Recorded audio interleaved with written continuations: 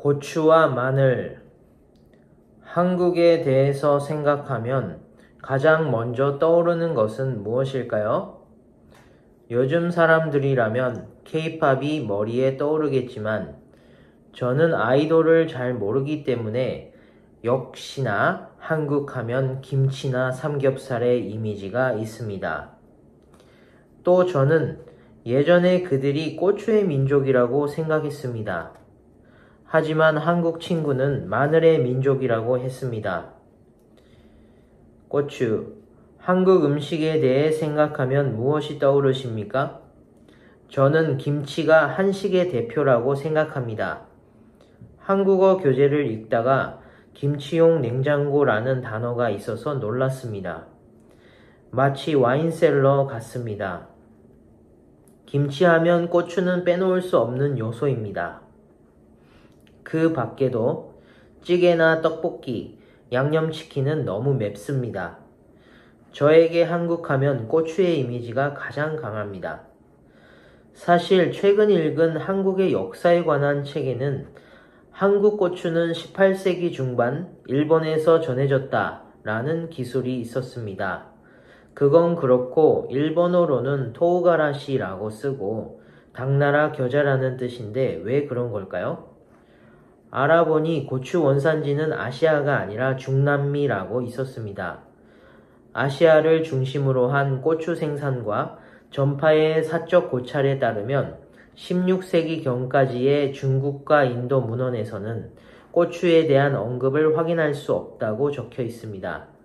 아무래도 멕시코 근처에서 무역을 통해 아시아로 가져온 것으로 마늘이 요리에 사용되기 시작한 것은 최근의 일인 것 같습니다. 한국의 옛날 음식은 하얗고 섬세한 양념이 되어 있다고 합니다. 확실히 삼계탕은 하얗고 예전에 한국 여행을 했을 때 먹었던 죽은 섬세한 양념으로 매운 것의 이미지가 강한 한식 이미지와는 조금 달랐습니다. 전통적인 요리의 소재로는 야채와 산나물이 많이 사용되는 것 같으니 고추를 사용하면 섬세한 맛이 없어져 버리는 것일지도 모르겠습니다. 마늘. 한편 마늘도 한식에서 빼놓을 수 없습니다. 마늘의 원산지는 중앙아시아로 기원전 3200년경 고대 이집트에서 재배되었던 것으로 확인됩니다. 일본에서 가장 유명한 한국 요리라고 하면 김치이지만 김치에도 마늘이 사용되고 있습니다. 맵기 때문에 김치에 마늘이 들어있다는 것을 저는 깨닫지 못했습니다. 한식 레시피를 조금 알아보니 많은 요리에 마늘이 소재로 사용되고 있었습니다. 그럼 한국의 조미료라고 하면 무엇일까요? 저는 고추장 이미지가 있는데 고추장에도 마늘이 포함되어 있습니다. 비빔밥에는 고추장을 넣지만 양념치킨이나 갈비 양념에도 마늘은 포함되어 있습니다. 많은 찌개에도 쓰이고 있네요. 마늘을 많이 먹는 문화인 셈이군요. 결과적으로 마늘의 마늘 소비량은 세계 1위가 되었습니다. 저도 마늘을 좋아해서 자주 라면에 넣어 먹는데 가족들이 냄새가 난다고 화를 냅니다.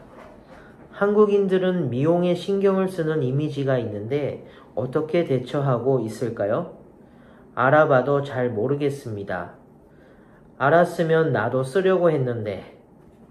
그런데 마늘은 날 것보다 가열한 것이 다음날 냄새가 잘 남지 않는다고 합니다. 다음부터 이 사실을 의식해서 먹으려고 합니다. 한국의 당군 신화에서는 예, 천상 지배자의 아들인 환웅이 인간이 되고 싶어하는 곰과 호랑이에게 한 줌의 쑥과 마늘 20개를 주었다는 이야기가 있습니다. 인간이 된 곰은 환웅과 결혼하여 한국을 건국한 왕 단군을 낳았습니다. 사실 한, 한국인은 마늘의 민족인 거죠.